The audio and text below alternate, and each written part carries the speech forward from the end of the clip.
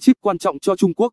Chính quyền Mỹ đang gây áp lực rất lớn buộc Hà Lan hủy bán công nghệ sản xuất chip cho Trung Quốc. Các nỗ lực được thực hiện ở cấp cao. Đích thân Bộ trưởng Ngoại giao Mỹ Mike Pompeo đã vận động hành lang giới chức Hà Lan nhằm ngăn chặn thương vụ này.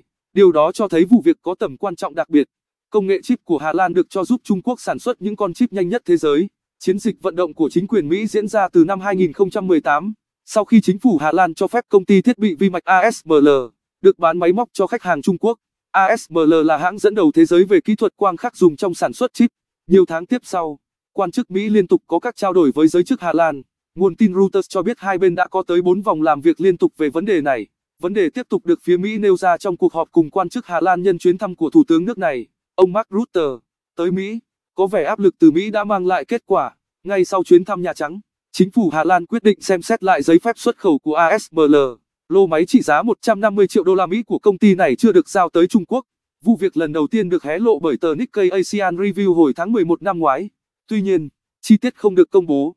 Cả Mỹ và Hà Lan đều tránh đưa ra bình luận về vấn đề nhạy cảm này. ASML không tiết lộ tên khách hàng Trung Quốc. Tuy nhiên, Nikkei và một số trang báo khác cho biết đó là tập đoàn Semiconductor Manufacturing International Corp. SMIC, hãng sản xuất chip lớn nhất Trung Quốc.